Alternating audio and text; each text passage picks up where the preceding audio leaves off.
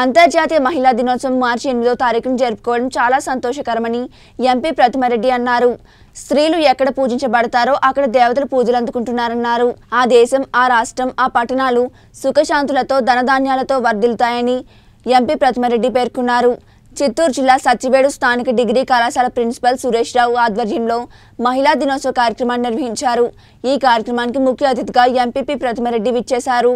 ఈ సందర్భంగా ఆమె మాట్లాడుతూ భారతదేశంలో ప్రాచీన కాలం నుండి స్త్రీలను దేవతగా కొలుస్తారు.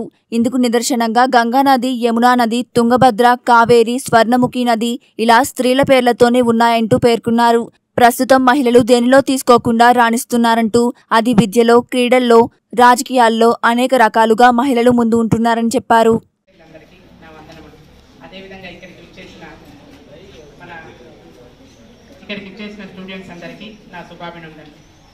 అంతర్జాతీయ మహిళా దినోత్సవం ప్రవపడుతున్నాం ఈరోజు. ఈ అంతర్జాతీయ మహిళా దినోత్సవం పుట్టుకు గురించి చెప్పుకోవాలంటే పంతొమ్మిది వందల ఎనిమిదో సార్ చెప్పినట్టు పంతొమ్మిది వందల ఎనిమిదో సంవత్సరం పదహే పదహైదు వేల మంది మహిళలు న్యూయార్క్ సిటీలో మెరుగైన జీతం ఓటు హక్కు పని గంటలు తగ్గించాలనే ఉద్దేశంతో వాళ్ళు భారీ ప్రదర్శన చేసినారనమాట ఆ భారీ ప్రదర్శన చేసిన తర్వాత మన అమెరికా గవర్నమెంట్ పంతొమ్మిది వందల తొమ్మిదవ సంవత్సరం సోషలిస్ట్ పార్టీ జాతీయ మహిళా దినోత్సవాన్ని ప్రకటించింది. పంతొమ్మిది వందల డెబ్బై ఐదవ సంవత్సరం ఐక్యరాజ్య సమితి మన అంతర్జాతీయ మహిళా దినోత్సవాన్ని మార్చి ఎనిమిదవ తేదీ జరుపుకోవాలని నిర్ణయించింది. ఈ విధంగా మనం సుమారు వంద సంవత్సరములు మహిళా దినోత్సవాన్ని జరుపుకుంటూ వస్తున్నాం. అంటే ఎత్ర నార్యస్తు పూజంటే రమంతే తత్ర దేవత. ఎక్కడ స్త్రీలు గౌరవించబడతారో అక్కడ దేవతలు పూజలు అందుకుంటారు అని అర్థం. అంటే స్త్రీలకి దేవతలతో సమానంగా గౌరవం ఇస్తున్నారంటే మన భారతదేశం ఎంత గొప్పదో మనం గుర్తించాలి.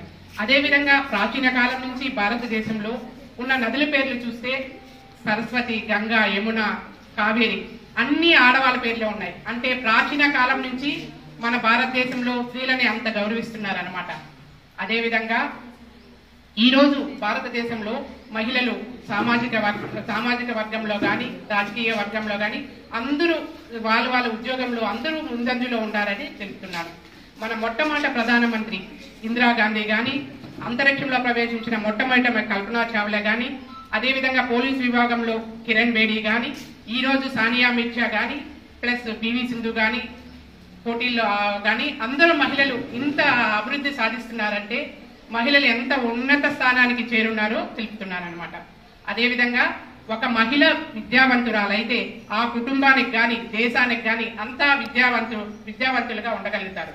అందుకని మహిళలందరూ ఈ పిల్లలందరూ బాగా చదువుకోవాలని పైకి రావాలని కోరుకుంటూ అందరూ ఉన్నత స్థానంలో ఉండాలని కోరుకుంటున్నాను. అదేవిధంగా మన జగన్ మన ప్రియతమ ముఖ్యమంత్రి జగన్ తీసుకుంటే మహిళా పక్షపాతి. ఎందుకంటే మన పార్లమెంట్లో ముప్పై మూడు శాతం రిజర్వేషన్ మహిళలకు కల్పించినా ఇంతవరకు తాను ఆమోదించకపోయినా.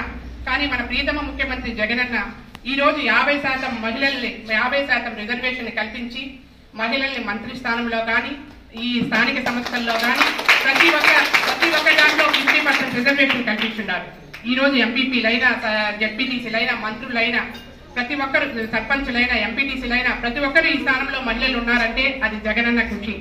అదేవిధంగా అమ్మఒడి